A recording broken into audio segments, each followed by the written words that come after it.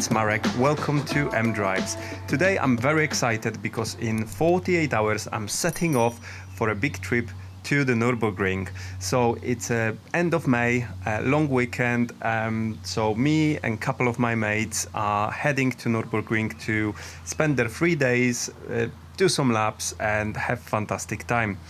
But going abroad um, means you have to prepare your car too.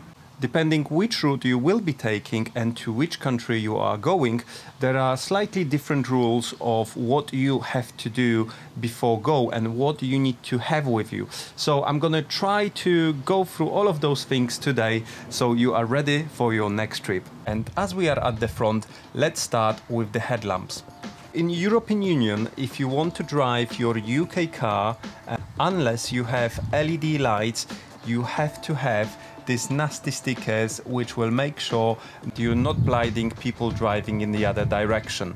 So it doesn't matter if you have normal halogen lights or the projector lights, as long as they are not LED, so normal bulbs or xenon lights, you have to have these stickers in place. So we're gonna take care of that in a moment. So I've got one of these from eBay. They aren't very expensive, so I really recommend you get one if your car isn't equipped in LED lights. Um, it comes with quite handy um, manual as well. Um, so it has a list of cars which is quite extensive um, as I will show you in a moment as you can see um, so you find your car on a list and then you uh, pick the photo um, with the same number BMW 2 Series and now uh, you have four different options here so I've got projector plus xenon headlights only, that's 114. So now we're looking for 114, which is here. So we have to cover only about a quarter of the lens when you're looking at it from the front of the car. And it needs to be leveled with the lens. So First we need to get rid of this part as we won't be using it. So uh, as far as I remember you just have to, to peel that away. I think you push that in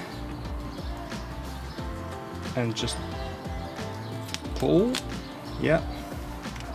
So now we're left with just a round bit which we need for our light. So um, again we're looking at the lens from the front um, and we have to cover just a quarter of it. Um, so and it needs to be at the same level. So let's take the backing off and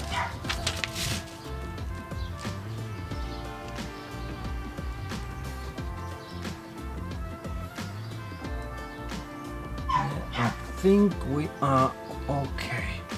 So I'm gonna remove the other side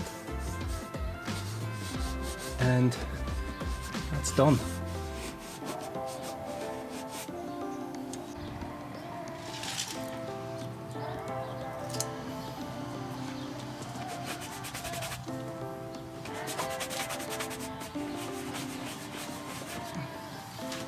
And that's it.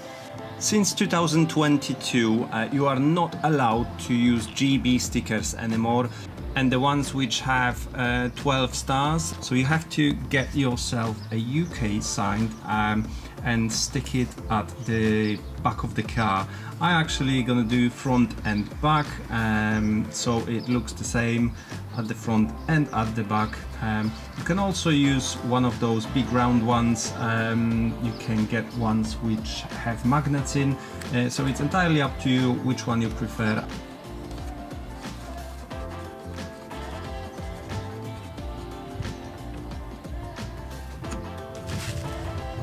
That's it. At the back I have a short plate, so I have actually no space on the plate to um, stick it on. However, we can stick it right next to the plate. It won't um, cause any problems. Uh, as long as we display the, the sign, we are fine.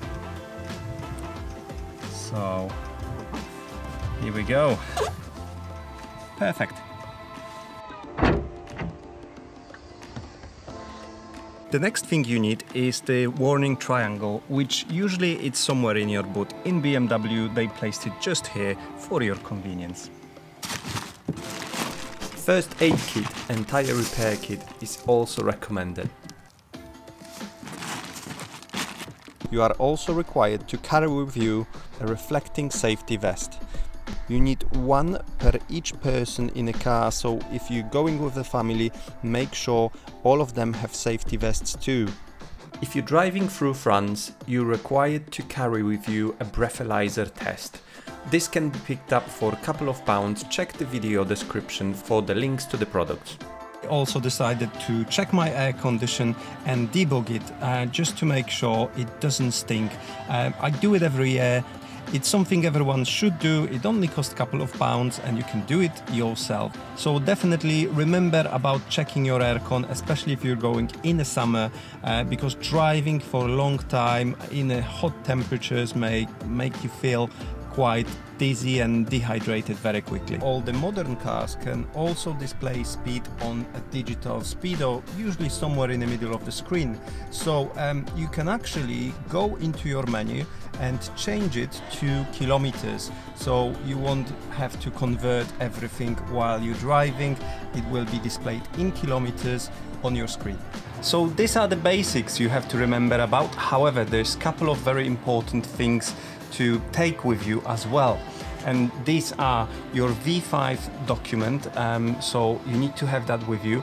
You need a copy of the insurance certificate uh, and when you um, checking your insurance, check if you have the full protection abroad. Most of the policies will actually give you a full coverage up to 30 or 60 days abroad every year. However, some of them, especially if you're going with the cheaper one, might only give you a third party. So please make sure you double check so you know you're fully protected. As of 2022, you do not have to take a green card with you anymore. So that's one problem less. It's also useful to download from one of the websites um, some documents you can fill in in case of accident. You never know what might happen.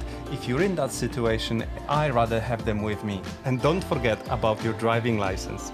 Remember, if you're driving in an older car which doesn't have daytime running lights, DRLs, you need to use your headlights uh, in Europe all the time. They need to be on, otherwise you're gonna get fined. I think my car is now ready to go. I hope you found this video useful and I'll see you on the Nürburgring very shortly. Thank you for watching. Goodbye. Do widzenia.